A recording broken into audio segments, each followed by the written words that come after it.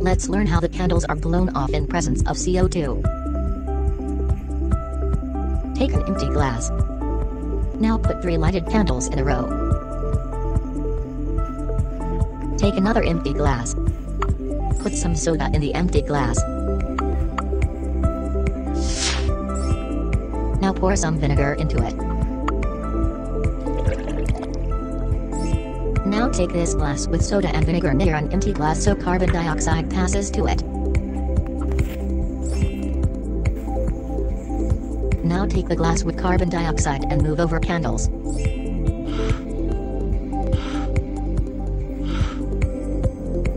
Wow, the carbon dioxide from the glass blow the candles.